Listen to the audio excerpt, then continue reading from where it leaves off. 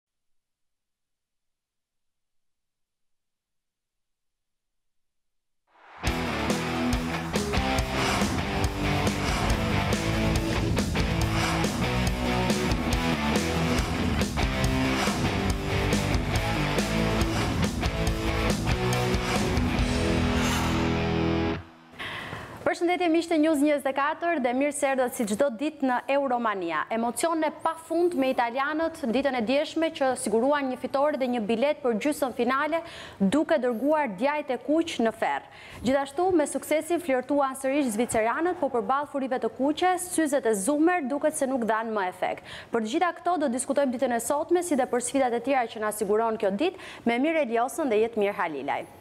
Jetmir, një lumë kritikash që ne, pse ne mbështetëm Italinë. Të gjithë tifozët më kanë shkruar që pse mbështetëm Italinë. Nuk e dinë ata që ne e bëmë me qëllim që t'i jepnim fat, se kështu bëjmë ne gjithmonë. Themi të kundërtën dhe dalin parashikimet ndryshe. Kjo është e vërtetë që zakonisht, ose 90% rasteve, këtu na ka dalë kundërta, Sigurisht jo me dëshirën tonë, po nuk e mbështetëm Italinë. Thjesht bëmë një parashikim për t'i dalë pak kundër profesor Josës që e ka shprehur haptazi simpatinë e tij për Italinë dhe për të mos qenë të gjithë në një linjë, në një rrymë, doja thjesht t'i dilja pak kundër, po e dija që Italia kishte shanse të mira të kalonte. Po tani jeni më të qetë besoj, me këtë mundje të Belgjikës... Këtu nuk është problem simpatie, nuk është problem tifozllëku, po është më tepër problem se si Italia po lun. Dhe na kishte bindur, prap ishim skeptikë sepse lunte Kundra Belgjikës, sepse nuk ke si të nënvlerësosh një ekip si Belgjika, por megjithatë loja e... Numri një në botë në renditjen e FIFA-s. Jo, kjo s'më thotë shumë, më jua thashë dhe dje. Jua thashë dhe dje që kjo nuk më thotë shumë që është numri një në botë, sepse kalojmë ke Ana tjetër, Belgjika si shtet, si kombëtare nuk ka fituar asgjë gjatë kësaj kohe. Gjithmonë përpara se të bëjmë një preview të të ndeshjeve i referohemi shumë statistikave dhe një lloj historie. Në këtë Europian na kanë treguar që vetëm statistikat që nuk kanë pirë ujë në asnjë takim. Se po ta merrje Belgjikën në letër me lojtarët që kishte në përbërje, me vlerën e tyre, me numrin e golave që janë shënuar nga sulmuesit, kishte diferenca të mëdha me një Itali e cila vinte ndryshe dhe shumë ishin skeptikë në opinionin sportiv në fakt. Skeptik normale që do të jesh kur lun me kundra një Belgjike, thashë dhe herë tjetër gjithë ajo vlerë skuadre, vlerë e cila edhe nga specialistët është vlerësuar në maksimum si skuadër, unë mund të them që Belgjika ishte skuadër e mirë, por Italia është më e mirë. Është më e mirë dhe dje e vërtetoi dje në të gjitha komponentët e lojës. qoftë në mbajtjen e topit, që është një edukatë pune që është që Italia na e ka tregu kohët e fundit, qoftë në goditjet përpara, qoftë në dyluftimet që këto i ka pas dyluftimet përsa i përket pjesës mbrojtëse. Ishte shumë rigoroze dhe gjithashtu në sulm ishte shumë e rrezikshme. Kjo përshtypje na u krijua për Italinë sidomos pas ndeshjes me Austrinë, ëh, sepse kishte një ecuri perfekte si si skuadër. Nga ana tjetër, aty u ngrit një tymnajë le të themi dhe bëri opinionin sportiv që të ishin pak skeptikë. Por kjo sfidë me Belgjikën? Italia shkëlqeu në fazën e grupeve dhe menduam që edhe me Austrinë do ishte po kaq dominuese. Ndoshta me Austrinë është ndeshja e vetme ku, si të thuash, vuajti, vuajti disi dhe doli ndoshta jashtë natyrës së vet. Dje ishte realisht një Itali fantastike, sepse nuk, ok, që mund të fitonte dhe mund të kualifikohej me Belgjikën, kjo s'përbënte ndonjë surprizë, por që të ishte aq dominuese, ta zvogëlonte Belgjikën aq shumë, Po në 70% të ndeshjes, sepse dhe Belgjika i pati mundësitë e veta, pastaj pati ato minutat e fundit, ato minutat e fundit që edhe mund të kishte, e rrezikoi Italinë, por që të ishte aq dominuese, dhe të ishte kaq bindëse, kaq agresive, realisht ishte një surprizë e bukur. Italia Ka një skuadër që është e harmonizuar në të gjitha repartet, pra, por ka dhe një skuadër relativisht të re me disa ekspertë, kryesisht i referohem Bonuccit dhe Chiellinit, që edhe dje treguan që janë artistë të mbrojtjes. Pra. Mirë, ti e ke quajtur Itali madhështore, kalon Belgjikën me barelë, për shkak edhe të atij dëmtimit të Spinazzolës që na erdhi keq të gjithëve për mënyrën se si ndodhi dhe për një lojtar i cili dha shumë në fushën e lojës në fakt. Për shkak e golit Barelës, sepse janë dy, ka dy, si të, domethënë, barela e Spinazzolës dhe Barela, Barela që shënoi golin, që zhbllokoi ndeshjen dhe i dha një. Kjo është, por ishte, në gjykimin tim ishte realisht një Itali madhështore, në kuptimin që nuk, nuk mund t'i thuash asgjë, domethënë ishte një kualifikim më se i merituar dhe një lojë e shkëlqyer e skuadrës së Mancinit. Corriere dello Sport, më thuaj që është e vërtetë, kështu e ka hapur gazetën. Në fakt nuk ka pse të jetë kaq ëndërr për Italinë, që mos t'i zgjojmë italianët. Ishte një pretendim që ndoshta ata e kanë pasur që në fillim, por që fakti që mundën një nga skuadrat më të forta të këtij kampionati. Edhe Corriere dello Sport duket se luan me blofin, si luan Jetmiri. Kështu që Edhe Corriere dello Sport normalisht një farë siguria që tregoi Italia dje në lojë ishte më e madhe se sa përpara ndeshjes që ne mendonim. Pra, unë mendoj që përveç dy dy lojtarëve të mbrojtjes, Bonuccit dhe Chiellinit, të cilët ishin në lartësinë e duhur, unë mos harroni sepse Italia ka një lojtar shumë standard, Dhe lojtari më standard i Italisë në këtë periudhë është Jorginho. Të ndalemi pak këtu te Chiellini me Bonuccin. Të ndjekim njëherë insertin dhe se me shumë zemër dhe me shumë klas kjo Itali arriti të mundte djajtë e kuq duke siguruar një biletë për gjysmëfinale ku do të përballet me Spanjën. Shohim insertin dhe kthehemi në studio për të analizuar taktikisht me Josën dhe Jetmirin.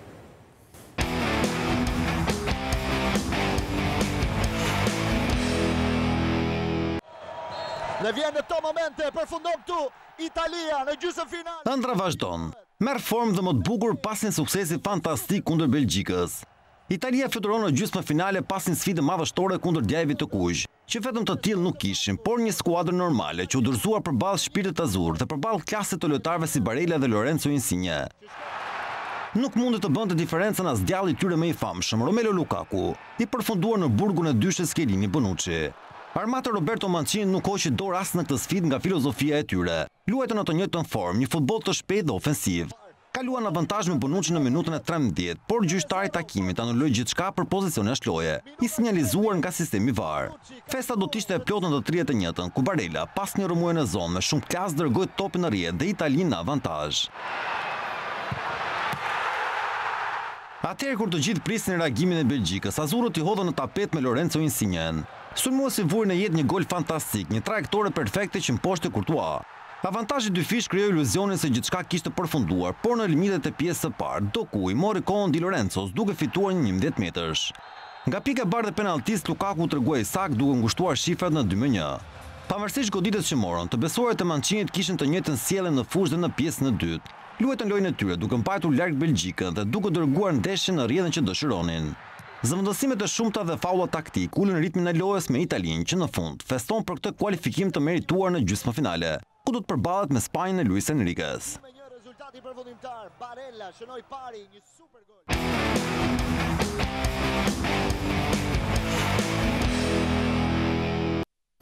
Shijuam edhe disa momente a la italiane aty ë, me Immobilen që ngrihet direkt në momentin që do shënohej goli. Në momentin që u shënu goli i parë, se në rregull... Po pretendonte për penallti, po tha prit se paska një mundësi më të mirë, po çohem një. Kishte një ndërhyrje kundra Immobiles, por aty mund të themi që kapiteni i skuadrës së Belgjikës e fitoi topin, Edhe donte të dilte me me lojë të ndërtuar nga mbrojtja për në sulm dhe aty gaboi, e fitoi prapë topin Italia dhe i shkoi topi në këmbë Barellës që veproi shumë mirë dhe shënoi. Pra erdhi si rezultat i këmbënguljes së Italisë, po erdhi dhe si rezultat i gabimit të më duket ishte kapiteni i skuadrës së tyne. I cili, i cili humbi topin më, përpara zonës. Më, më, më ndalo pak të se më, nuk dua të më, më driblosh te pjesa, se kemi, bër, kemi debatuar dje për dyshen Kelini Bonucci. Më the që Kelini, për shkak të dëmtimit që pësoi para dy ndeshjesh, po. sepse me Austrinë uh, u ruajt, uh, nuk ndo, është e rrezikshme që të uh, t'i besosh 90 minuta, sepse e para mund të të djegë një zëvendësim, dhe e dyta mund, domethënë, si të thuash Të fusë në siklet Acerbin duke e lënë në në në në stol. A u binde që Bonucci, Chiellini janë dyshja ndoshta e vetme sot që mund të përballojë kaq mirë, kaq thjesht Lukakun? Lukakun, po. Jo. Si jo? Po u duk shumë i vogël Lukaku para tyre. U duk shumë i vogël Lukaku sepse Lukaku prap maksimumin e tij dha.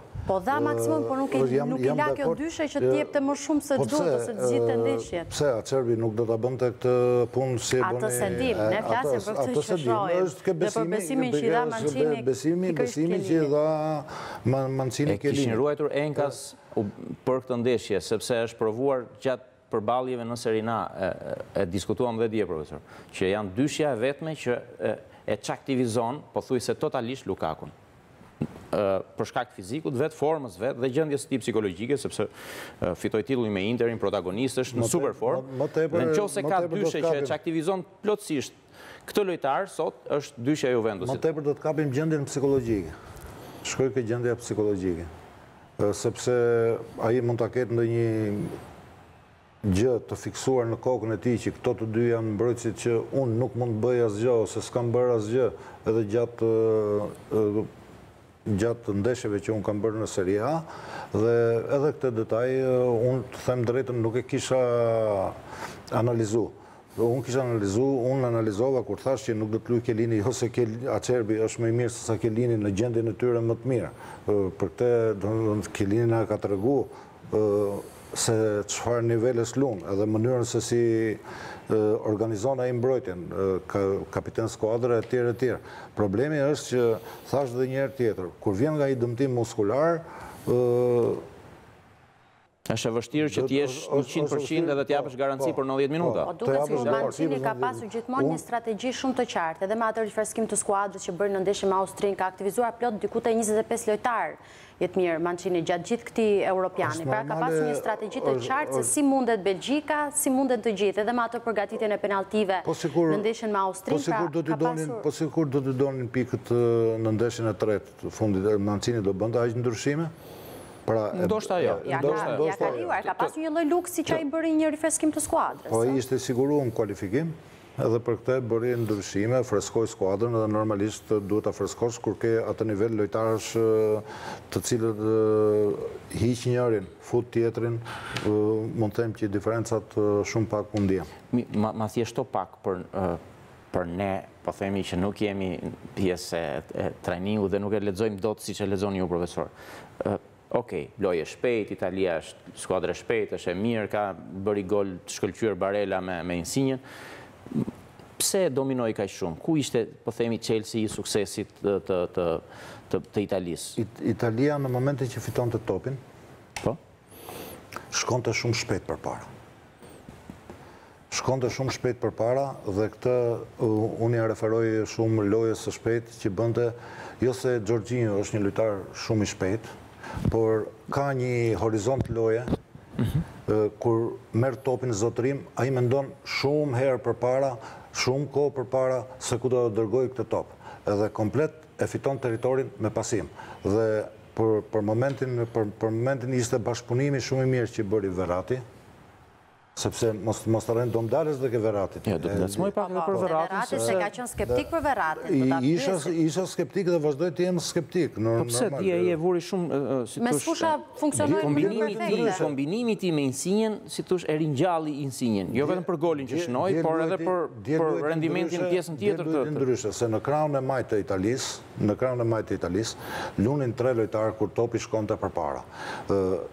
Pra kur topi u spostonte në krahun e majtë të Italisë, ishin tre lojtarë dhe kishin tre pika pasimi plus Immobilen. Pra ishte Insigne, vinte Verratti, ishte edhe Spinazzola, i cili ndihmonte shumë, i cili shtynte shumë siç e kemi diskutuar. Pra ishin këto të tre, të cilët në atë krah vepronin shumë mirë. Dhe kishim një Verratti dje, i cili nuk u spostonte në Qendër ke... Nuk përplasej me Zhorxhinjën, siç u përplas në ndeshjen me Austrinë. Kishim një Verratti i cili u përqendru qendër majtas. Qendër majtas dhe herë pas here shkonte dhe përpara zonës së rreptësisë. Mirë, si mundet që Italia të mundë Belgjikën pa një sulm të mirëfilltë? Edhe po t'i marrim me statistika që ti nuk i ke shumë qejf, Lukaku ka shënuar shumë gola. Në, në Itali 15 gola është maksimumi që kanë shënuar Immobile. Po Immobile sa ka shënuar? Më i mirë, 15. Ndërkohë të tjerët janë 30. Po Berardi sa ka shënuar?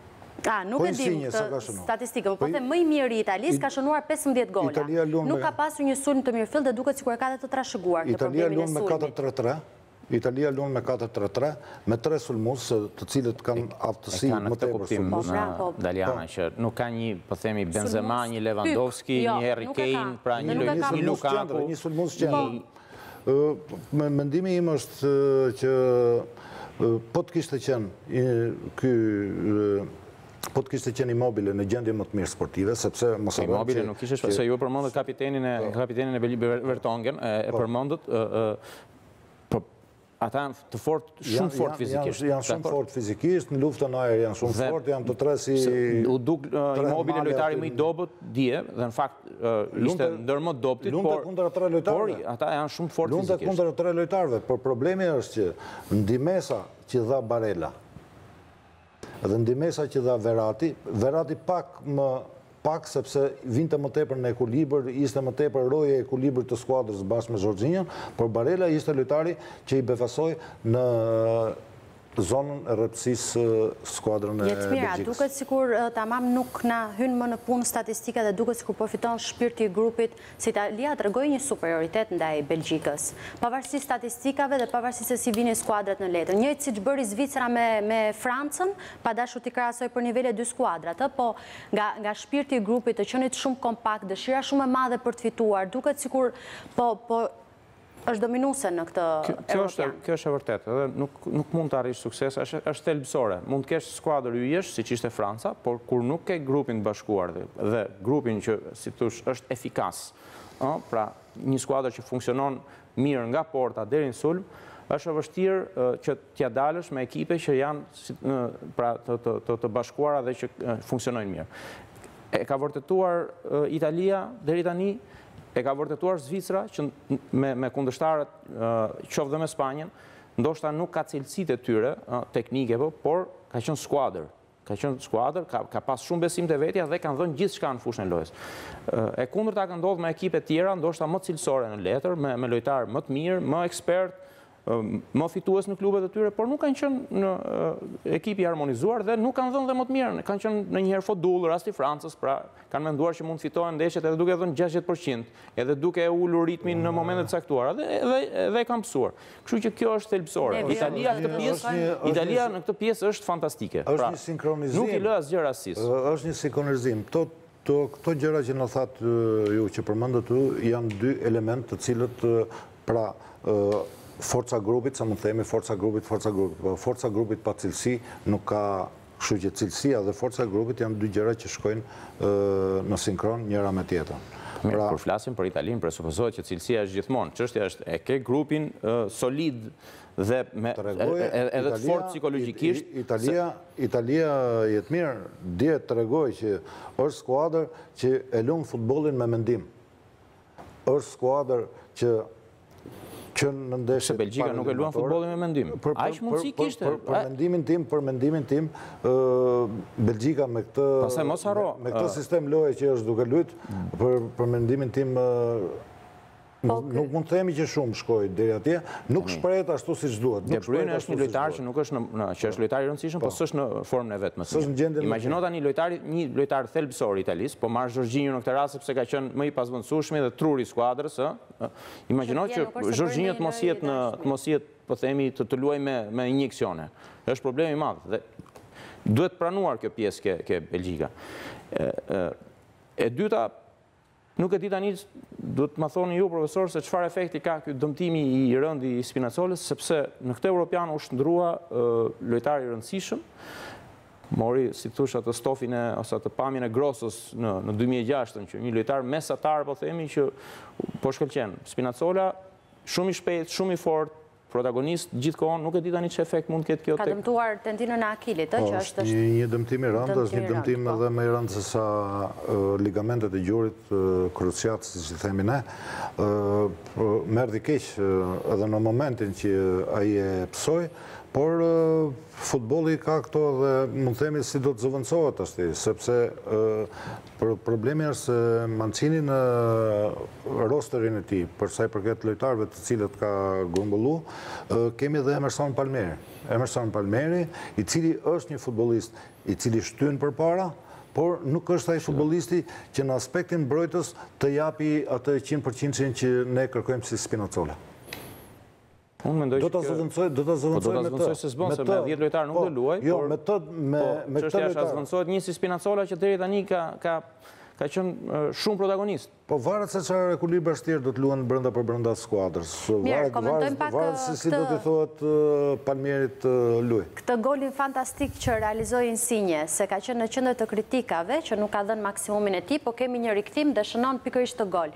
Një cilësi shumë e lartë golash nga ana e italianëve.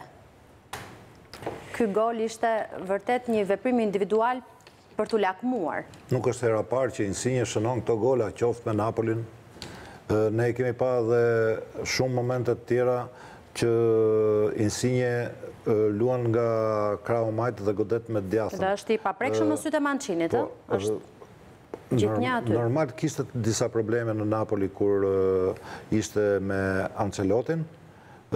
Shkoi Gattuso dhe e solli në rrugën e duhur, qoftë edhe gjendja e tij mund mos të ketë qenë e mirë në kohën e Ançelotit. Unë them që Insigne pavarësisht se shënoi këtë gol, këto janë gola të mënyrës së vet të goditjes së portës. Shpesh është kritikuar sepse individualist. Edhe e kanë tallur disi, jo, ia kanë mësuar këtë stilin dhe ishte bërë i lexueshëm dhe vetë kishte po, thënë që ndoshta duhet të shpik diçka, mirëpo po i le hapësira një lojtari si Insigne, siç ka pas këtu hapësira të pafundme, sigurisht do e presësh po, është një gjë. Hapësira, po individualitetin e ka si Immobile si Insigne. Mos harrojmë që topin e ka marrë në mes fushë, Po ka marrë... Po ka ecur me topin. Ka, ka ec me topin, ka bërë triblim, një triblim edhe, edhe, edhe nuk ishte... La ta bënte këtë gjënë. Edhe, edhe nuk ishte dublim, edhe nuk ishte dublim, edhe nuk ishte dublim. Duke pas parasysh që mbrojtja e qendrës së Belgjikës ishte me tre lojtarë. Aty do dilte se s'bën dublimi, mbasi bëri triblimin e parë, do dilte dublimi. Flasim pak për Belgjikën, De Bruyne dhe Lukaku, duket sikur dhanë maksimumin, por nga ana tjetër nuk i la Italia me superioritetin e saj. Nuk i la të bënte lojën e tyre ose të nxirrte në pah. Lukaku. Dalim ke Lukaku. Lukakun e shojti pak problemi i Kelinit me problemi që na përmendi dhe Jetmiri.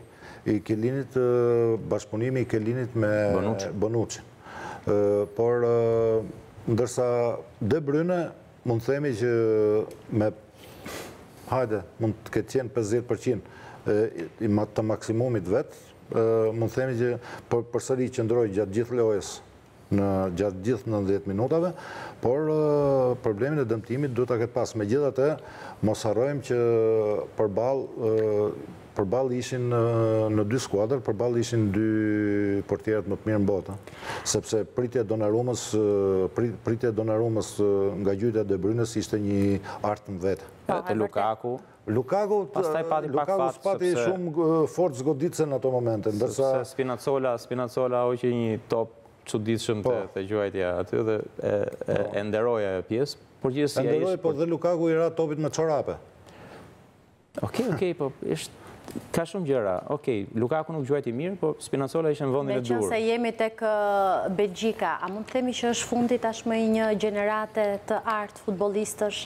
Sepse gjithë mendonin që tani ishte maksimumi që Belgjika mund t'i marrë një ekipi dhe këtij grupi. Mund të thuhet edhe kështu, edhe që menjëherë mbas eliminimit dje, ka pas kritika, kundrejt federatës dhe kundrejt trajnerit, sepse e kanë konsideruar brezin më të mirë që ka pasur mhm. Belgjika ndër vite, brez që ndoshta mund të kishe marrë më tepër se sa kaq. E kam fjalën jo vetëm për europianin, por edhe në botëror. Ndoshta me një trajner tjetër fitues, po kjo është gjithmonë ndoshta. Martinezi ka edhe një vit kohë për të përfunduar kontratën, por nuk është shumë ka preferuar të shprehet. Sepse realisht ka pas një brez futbollistësh nga porta, deri në sulm, fantastik. Domethënë, në elitën e futbollit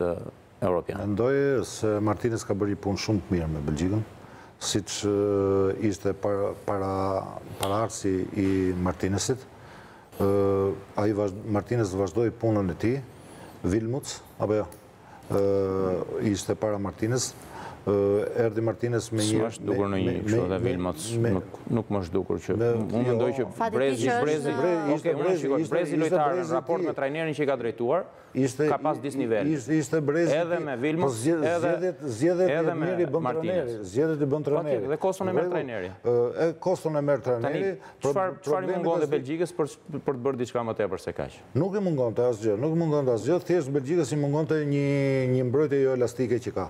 Një mbrojtje jo elastike që ka, një mbrojtje që më më luan ka gjithë ka ka ndrru një sistem loje, e cila ka bërë regres në krahasim me Kampionatin Botëror të Rusisë, po, po, sepse po, shikoj një Belgjikë, shikoj një Belgjikë në Rusi që si themi ne cicëronte duke lujtur. Mhm. Cicëronte duke lujtur. Kishte lezet shpirti kur e shikoje atë skuadër duke lujt futbol, se si lojtarët u shprehnin n'fushë. Ndërsa tashti Belgjika ishte shumë... Jo. Dëgjova Alessandro Costacurtën dje. Po.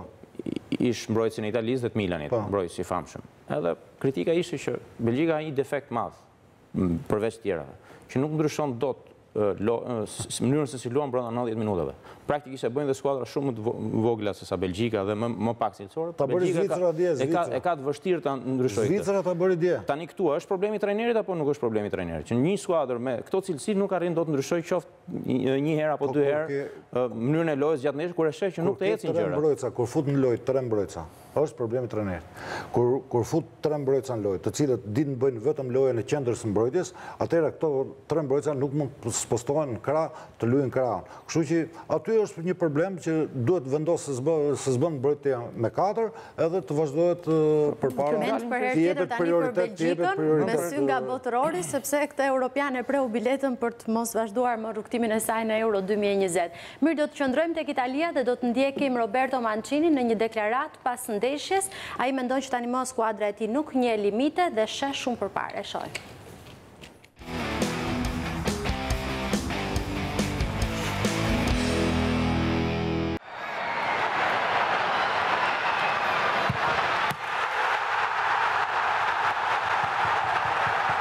Pesëmbëdhjetë fitore radhazi, një rekord absolut dhe një biletë për në gjysmëfinalet e Euro dy mijë e njëzet. Roberto Mancini shijon këtë sukses fantastik dhe sot më shumë se kurrë beson se ky grup mund të arrijë gjithçka.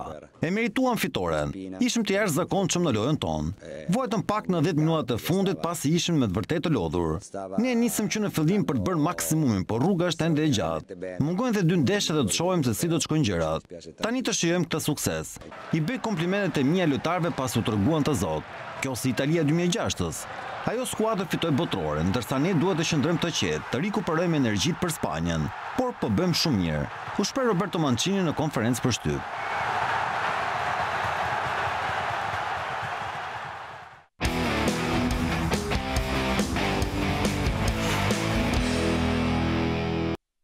e akuzuar Italia që i kishin rënë në short ndoshta skuadra të lehta në letër. Tani që mundi Belgjikën, mund të themi me plot bindjen që është favorite kryesore për të marrë këtë Europian? Apo vijon të ndihesh i kërcënuar si mbështetës i Italisë nga Anglia? Favorite kryesore nuk mund ta them, është favorite dhe rritet mundësia e marrjes së kampionatit, sepse Normalisht do të lujë me Spanjën ose me... Pas kësaj ndeshjes me Belgjikën, e shikon akoma më të favorizuar në një finale anglezët? E shikoj e shikoj një ndeshje të barabartë.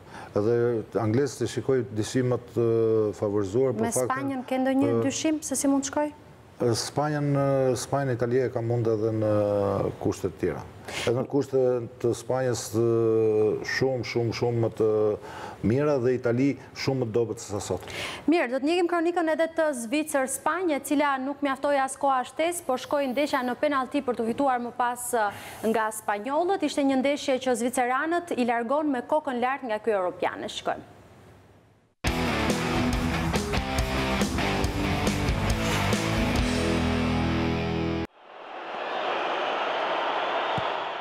Spanja është gjysmëfinalistja e parë e Euro dy mijë e njëzet. Iberikët vuajtën shumë, por me penallti shkojnë më tej dhe tani duan të fitojnë trofeun. E pafat Zvicra, që edhe me dhjetë vetë u mbajt për njëqind e njëzet minuta. Spanja shënoi pas tetë minutash lojë, një autogol i dhjeti në Euro dy mijë e njëzet. Alba gjuajti fort dhe një devijim i Zakarias, i cili bëri debutimin e tij si titullar me Zvicrën, bëri të mundur kalimin në avantazh të iberikëve. Sfida u barazua në minutën e gjashtëdhjetë e tetë, Shaqiri realizoi për zviceranët, i treti për të në këtë evropian. Futbollisti shqiptar përfitoi nga një gabim i mbrojtjes spanjolle dhe shënoi me lehtësi. Në minutën e shtatëdhjetë e shtatë, Freuler lë Zvicrën me dhjetë vetë pas një ndërhyrje të ashpër. Pritej reagimi i iberikëve, por ishte shumë i vakët. Zvicra mbrohet fort në fund dhe çon ndeshjen në shtesë, e dyta për të dy ekipet. Të dyja shtesat nuk prodhojnë gola, pavarësisht se Spanja provoi pafund. Ndeshja shkon me penallti, e dyta për këtë evropian dhe sërish Zvicra e provon një gjë të tillë pas Francës. Por kësaj radhe, helvetët gabojnë shumë, tre penallti të humbura kundrejt dy të spanjollëve. Shar, Akanji dhe Vargas humbën radhazi gjuajtjet e tyre, Spanja kalon në gjysmëfinale.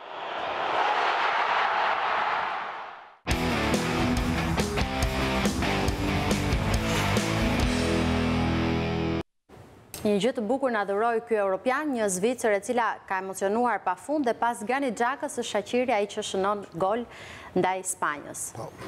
Normal Granit Xhaka një një lojtar shumë i fortë, një lojtar shumë në të gjitha drejtimet, por dje nuk luante dhe mund të themi se Zvicra dje mua më ka suprizu për mënyrën si lujti. E prisja shumë më poshtë, duke pas parasysh mungesën që kishte të Granitit, por Dje kishte rikuperu disa gjëra për të cilat më bën përshtypje për mënyrën se si një trajner mund të transformojë një skuadër edhe mund ta bëjë këtë skuadër që të jetë më e mirë. Pra Petkoviqi me më pak cilësi te Zvicra se sa Belgjika arrin ta transformojë një Zvicër qoftë edhe brenda një një një ndeshje. Jo qoftë brenda një ndeshje, ai e filloi ndeshjen. Belgjika, Belgjika, Belgjika nuk e bën dot këtë. Është problem trajneri pastaj. Pse duhet të dalësh patjetër në krah të trajnerëve gjithmonë? Dil njëherë nga stofi, nga kostumi i trajnerit. Jo, unë normal që përherë do të jap prioritet trenerëve, sepse trenerët e dinë gjendjen e brendshme të skuadrës, trenerët e dinë se si... Trenerët edhe duhet edhe të marrin dhe përgjegjësi, dhe kritikohen pastaj kur në po, këmbënguljen e vet. Normal, normal. Po, ka raste që trenerët e... Ky është rasti klasik, kur një trener i zoti me një skuadër të mirë, po jo ekselente, arrin të bëjë gjëra të mëdha. Dhe një trajner, një trajner normal si Martinezi me një skuadër të shkëlqyer e shndërron në një ekip mesatar. Në krahasim me ndeshjen me Francën, në krahasim me ndeshjen me Francën, unë kam pa dje një Zvicër e cila u shpreh në një futboll më të bukur. Zvicra ishte fantastike, dje lojtari që duhet që të zëvendësojë Xhakën Zakaria, që prisin gjithë të bëhet Xhakaria në kuptimin po. që të Të ecte në gjurmët e kapitenit dhe liderit të tyre, e katranosi me atë devijim fatal që e çoi topin në... Janë gjëra që ndodhin ajo është komplet fat. Okej, s'po them që të... është komplet fat. Ta kryqëzojmë, po... Ndodhi pra, i ndodhi po, atij, pikërisht atij, duhet të zëvendësonte liderin e ekipit dhe po, shkaktoi autogol. Mos harrojmë që Zakaria humbi dhe rastin me kokë, që u ngrit me kokë dhe ishte një goditje shumë e mirë e tij e topit për të çu topin në rrjetë, që e la portierin të palëvizur, Dhe doli topi jashtë. Pra po sikur Zakaria të kishte bërë atë gol. Po sikur. Sikur unë vlerësoj Zakarian për atë që bëri në fushë. Okej, përgjithësisht një ndeshje e mirë, por shkaktoi autogolin që tronditi skuadrën. A e trondit skuadrën psikologjikisht kur lun me Spanjën? Trondit, po pati forcë. Edhe një gjë. Po pati forcë skuadrën. Nëse më lejon Daliana.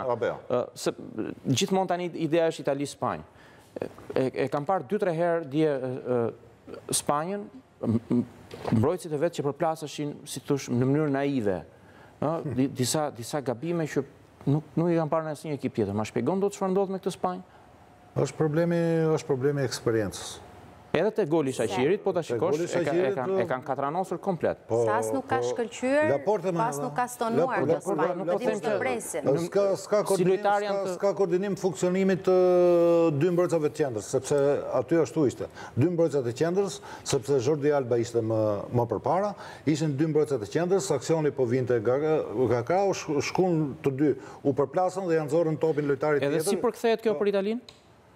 Si përkthehet kjo situatë e Spanjës për Italinë? Për për Italinë, situata e Spanjës përkthehet që Spanja ka shumë pak shanse të fitojë me Italinë. Po pse ka shumë pak shanse? Ka shumë pak shanse të fitojë. S'na ka bindur. Nuk, sepse janë dy skuadra të cilat e mbajnë topin. Spanja është në gjysmëfinale, ne vazhdojmë themi s'na ka bindur. Është në gjysmëfinale sot.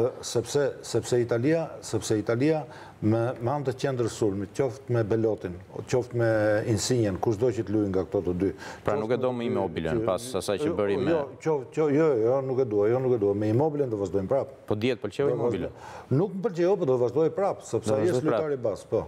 Jo, vazhdon të bëjë baste Mancini se më duket se po i rezultojnë të mira këto bastet. Se se dje vuajti vuajti Immobile shumë se ishin lojtarë fizikë, po ndoshta me Spanjën ju mendoni që mund të ketë Laporte është një lojtar Qoftë Laporte, qoftë lojtari tjetër i Villarrealit, janë dy lojtarë që luajnë qendër mbrojtës, janë lojtarë të rinj, luajnë shumë pak bashkë. Unë jam me shumë fat që ju kam në studio, po gjithmonë ma çoni emisionin në, jo në kohë shtesë, po me penallti.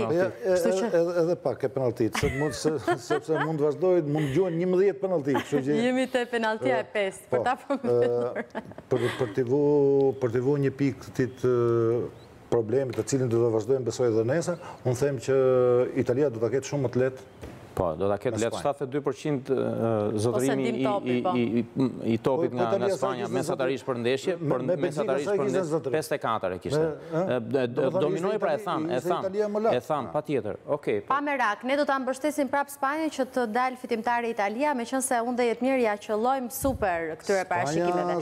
Bëjmë një parashikim të shkurtër për uh, Angli, Ukrainë dhe Çeki, Danimarkë. Kualifikohet Anglia. Po Jetmiri?